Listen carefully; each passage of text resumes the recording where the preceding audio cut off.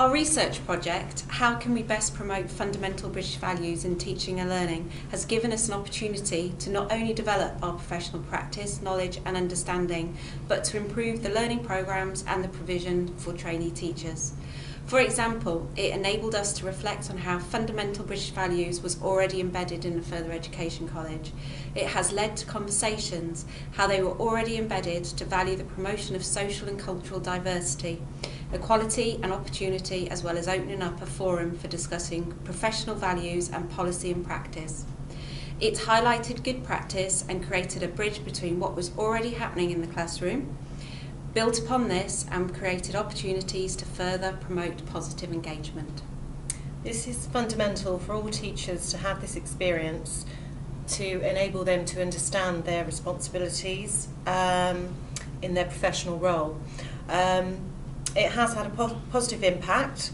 Uh, the project has given a platform for discussions uh, surrounding fundamental British values it enabled the policy to um, be foregrounded and highlight the relationship um, to the prevent strategy, um, to open up what was happening already and what could be improved.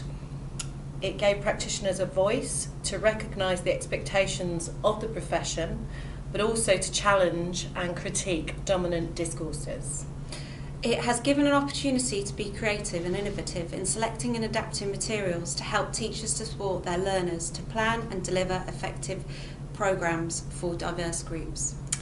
It has highlighted the importance of continuous professional development for practitioners to encourage confidence in having conversations and debates in a safe and inclusive way.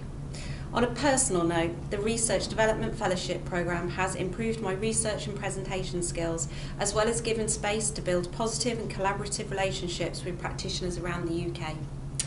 It has enabled us to engage in a, a paragogy, in paragogy as a team to support process and production.